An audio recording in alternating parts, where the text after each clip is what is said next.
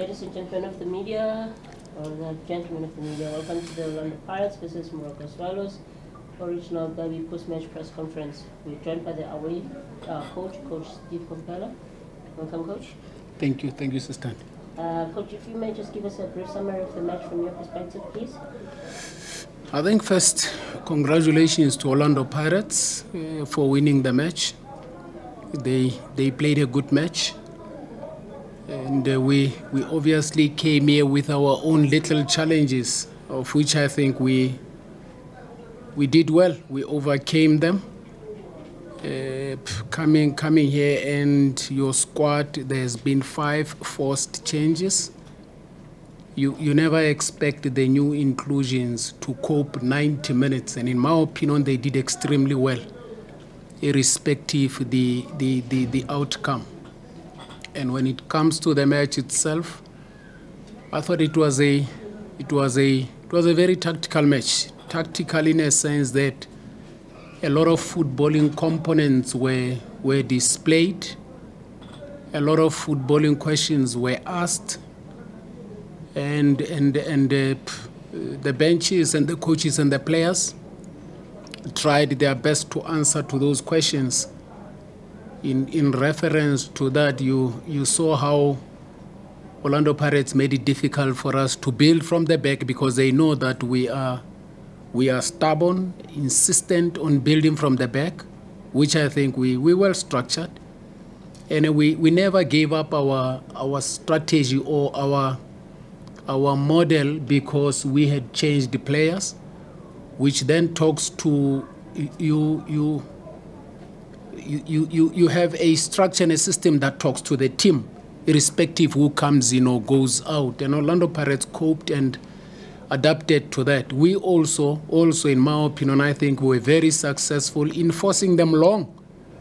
There were moments where a goalkeeper would want to start from the back, and we, we put a lot of bodies on top of their box and tried to see will they be stubborn and insistent to come out.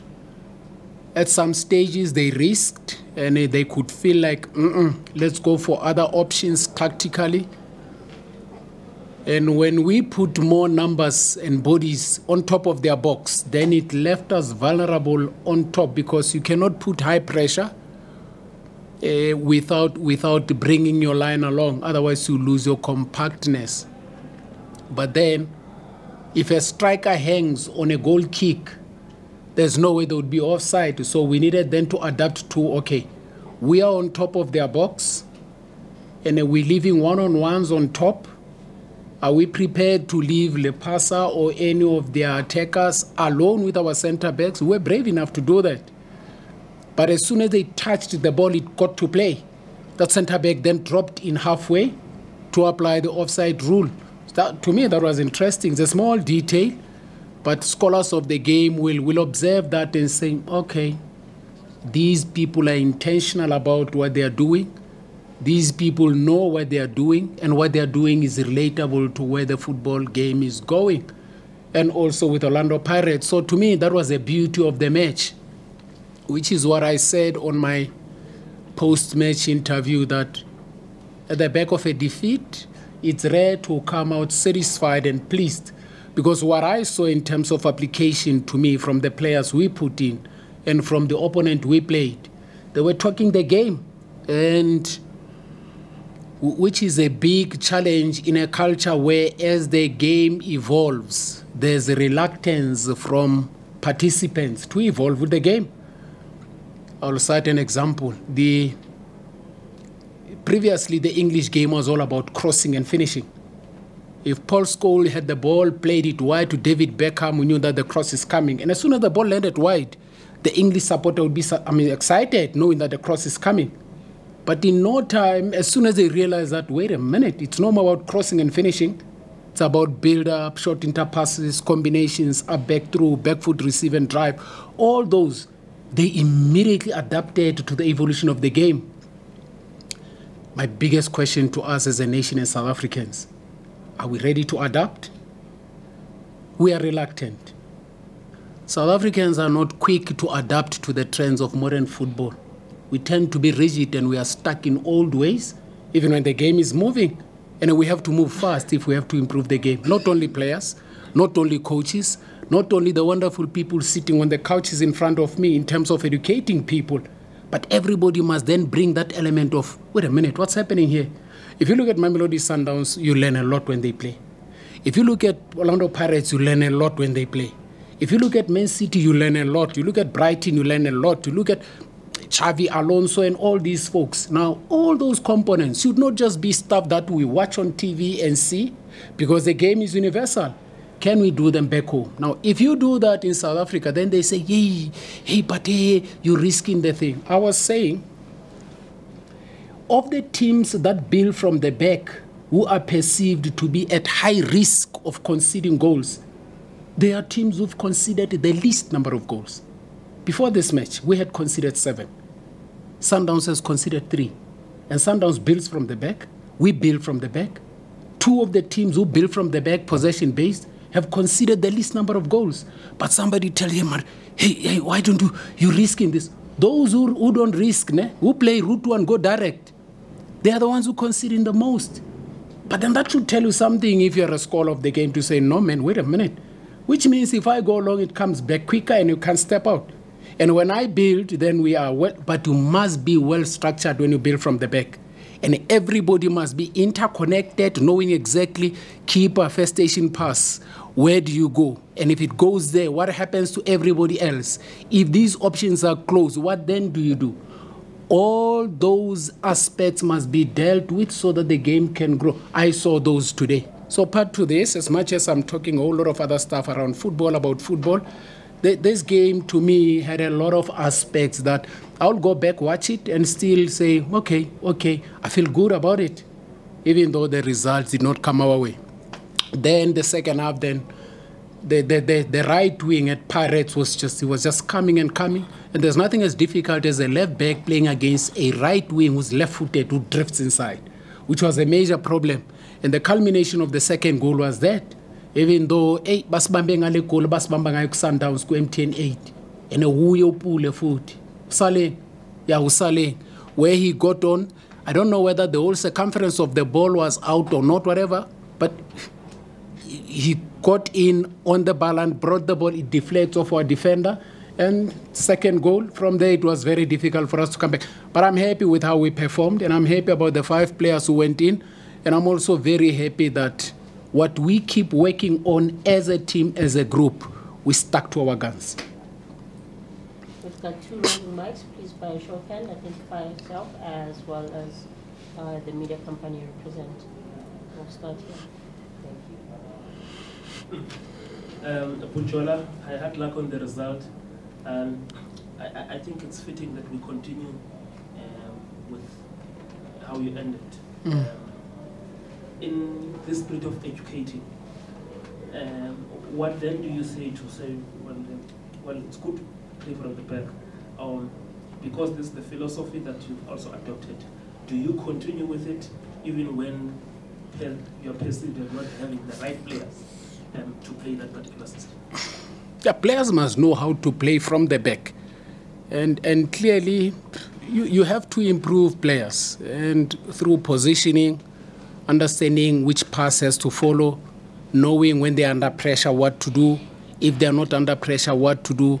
You try give all these solutions to them. But at the end of the day, it's about them. They are going to take the decisions in a match. And we, we, we can't stop that because it's we find it to be a sensible way of playing, more especially for African players. If you look at our team, uh, if we play long balls, how many of those balls do you think Abadino Mango can win from Da, from Sibisi, from Xoki? It's rare. Uzuma, how many of those balls can he win when we go long? Uh, Upachi, how many of those? Okay, KG is very strong in the air. But then, do you have people to pick up second balls and all that? And, and, and which is where I'm saying, Velile, you, you have to play the game and in line with the kind of players you have. And African players by nature are highly technical. Uh, not unless you have a Didier Drogba who you know that you can launch, he holds up. And there are teams that are blessed in the country where they have players who are big, who can hold up play. But there are also teams that you can't play long when you know that you're going to give away possession because as soon as you play long, you are putting the ball for competition, it's 50 50. Now, between a centre back and an attacker who's short, who's going to win that ball? You look at what Usipo did here. Every time Pirates came long, Usipo Sibia was winning the balls because he's a big boy. And now, if he wins that ball, the midfield must then pick up the second balls. But I'm saying at Moroka Swallows, the composition of your midfield as well. You did not have AJ, you did not have Bara, you did not have Umakubela, and you look at Ufan Ryan, the one who got in, Ustabezan. I mean, well, you can't expect this guy to be winning second balls and fighting for the ball. So all that you say is that, listen, let's start with the ball at the back because we have technique, we can pass, we can move, and we have speed. The only thing that I think then Moroka Swallows needs to start doing is to find a way to generate speed as soon as they have come out from, from a build-up which is what I think Tottenham masters that very well. The change of tempo as they get into the midfield and going on a counter attack. You, you create this counter attack, and it's very you'll find me very stupid to say you want to play on a counter whilst you're in possession. There's nothing like that. When you are in possession, you are playing. The only team who's going to play on a counter attack is the one who regains possession. So then you have to create that artificial counter attack whilst in possession. How do you do that? As soon as you build, on the sides where there's overloads, you try avoid and get to the other side that is underloaded. And we all know with less numbers, more space, there's a possibility of speed. Then you trigger a counter attack. So these are all innuendos and things that we work on, work on. We'll work on them. They may not come out this season with us. They may come out after three years or four years, or they may be then taught by the same players to their own teams as a coach because teaching and learning does not bring an immediate outcome. Certain things that you apply in your life are not things that you just learned. Instead, are things that you inherited from your educators long time ago. So we depend on that. We don't only coach, we also trying to say to these players, as soon as you finish playing, have enough information that you can become coach as well. Final three questions. One, two, and three. Coach uh, Lorenzo, um, after the first few games, you mentioned you wanted, I think, 10 10 10 from your front three, which was Zuma, Mango, and Mapasa Mm. at the time. Um, don't think Zuma is obviously bringing in those numbers. Um, what's what's going wrong there with him? And obviously, before you arrived here, there were some issues off the pitch, and we know it's not gonna be fixed overnight. Um, is it affecting your, your squad this season? No, not really. It's man management. And these are things that you deal with everywhere.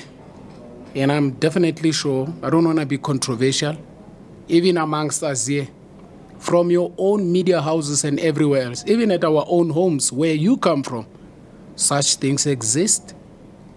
And it would be highly hypocritical of me coming from a society that has the same aspects, when you experience the same phenomenon within your small, intimate environment, then you are in denial that no, no, no, this cannot happen here. Because unfortunately, we are we're just a microscopic reflection of society. If you're saying there's mental health issues in society, and you don't expect to have that within your football structure, you must be insane. It's impossible because those players come from that society which is sick. So if you have a mental health issue in society and don't expect to have it in football, you are living in a world that does not exist. Then you are, you are a hypocrite. If you saying you advocate for mental health, that we have to take care of people and all this and all that, you are given a wonderful opportunity by the Almighty to say, I'm giving you people you can touch and deal with directly and deal with their mental health issues, and you neglect that. That's hypocrisy.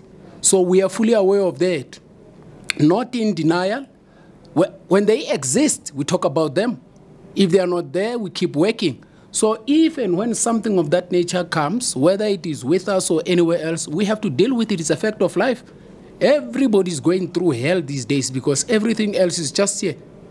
You are living a life in the US now, it's seated here. As soon as you switch on your phone, you check, then you have a lot of information coming through, and then people are being shot, are being killed. It's in LA, a crocodile is eating a human being. If you had never had that in your hands, you wouldn't be going through this hell. Because the world is in our pockets and just in front of us. We are going through hell. How do you avoid that? You can't. And if you are in denial thinking that, no, no, no, it doesn't exist, you are a hypocrite. So we don't want to be like that. We accept and receive things as they happen, be realistic and address them. That's what we do. We are very realistic. There's an ideal world, there's a real world. An ideal world is a perfect one, a real world is imperfect. Let's move on. Next question. Hi, man, I answered that question. if you did not, go listen to the audio, you'll get to the answer there. Oh, I paralyze you. Yeah, no. It reminds us our great Nelson Mandela. Coach, um, two derbies in a row, and uh, you lost six points out of them. Ish. Um, that comes with some sort of uh, uh, instability because these are big games, not Mm. just uh, ordinary games. Mm. How do you fix that? Looking at the the, the environment where your, your dress room finds itself, and still on the dress room, coach.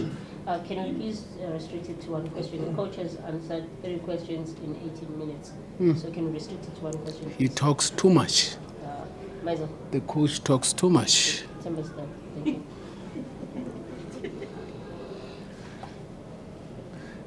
Am I asking, answering a question? Yeah, answering Okay, what was the question. Shaba? Two derbies, uh, Two derbies, okay. So he's got only one question. Yes. Thank you. Eh, ngithanda kanjani Shaba? Bakuvalile. I I must I must admit it's not nice to be losing. And we have the desire to want to see Moroka Swallows as a Moroka Swallows that belongs to the big four. And for you to get to the level where you can box pound for pound, Morgan says it, with Sundowns, pound for pound with Chiefs, pound for pound with Pirates, takes a lot, eh? Because they built and built and built and built. Not that we didn't build, but we've had our challenges in the past. And we are saying there's processing goals in everything that you work on in your life. The small steps that you take, you have to take positives, whilst you know that "Mm, my desire is to reach the destination. But in between, there has to be milestones. It's just a pity that we lost last week against Chiefs. We're losing today against Orlando Pirates. And these are your big, big, big four. They belong there. We're also trying to get there. Just have to go back and reflect with the players and also challenge them to say, listen, if you want to belong to the league of the big four, we, we have to up our game with our limitations and also just bring out the positives to inspire them. In my opinion, showing them the game model, compare both matches, and look at how we concede these goals. Let's go to Chiefs. You saw how we conceded Leo Goule. We could, we could have done better. The first goal against Orlando Pirates, we could have done better centrally. And the second goal, we could have done better. So when you look at those, you say, but in fact, all the goals we conceded this year are goals that you say, but how did it come? How did it come? But it happens. So we have to learn fast. If we can manage to deal with that, then you'll win matches. Worst case scenario, you draw them. Final question. Thank you. Yeah, Coach, Power Yes. Muscat, yes. So, just picking up from your, I think, first or second answer, Too many. in, in terms of your build-up play, Mm. you pass the first line of confrontation. Mm. Your players then decide to go long, and then Mm. you've got the cover who's moving away from the box. Mm. How do you fix this situation, Coach, where even with uh, the young boy, you got the Van Rijn, okay? the passes that they would make, you're Mm. too far from each other. Okay. And even when you cross into the box, there's no one because you are still very far. But you could get from the first line of confrontation, second one. Mhm. But when you get up there, it's only two, three attackers, but they are very far. And it doesn't give you the I- I- clear chances to score. it is the speed of entry in the final third. And I'm sure if, if we were to share with you clips and videos of the training sessions recently that we've been doing, it is, it is, it is predominantly to that. The creative zone and entering the final third. If we enter the final third wide, the opposite side has to step into the box. We need feet in the box. If we enter central, when we make those combinations, depending on how we want to unlock, then even on the side, we should be ready to receive, to play across, and get to the end thereof. But Maskepe, to be honest with you, we can say these things and do them and do them and do them. The match is a different phenomenon. There's a, there's a simple instruction we had requested from from the players to go to, okay in our build-up play we want to overload the midfield so that we can get the pirates defenders answering the question of how do they deal with the overload in the midfield. And then when we do that we want to see the reaction of the center backs. Can we stretch them wide enough that they open up the center? We can then have open the gates and move in just a request to a player to say do that. We've been doing it at training. In a match it's different.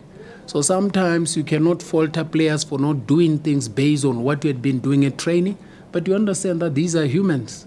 But the only thing that you depend on is that only practice and practice and training and training can only perfect that. We'll work on that the observation is right. Longer passes higher risk of losing the ball. Shorter passes they have to be intense and fast and you can only do that when you have players with a high technical ability. And the beauty of playing close to one another is that as soon as the ball gets lost, you have an opportunity to counter press. So these are all things that we work on as coaches. And I'm going to tell them that you told me that they don't listen.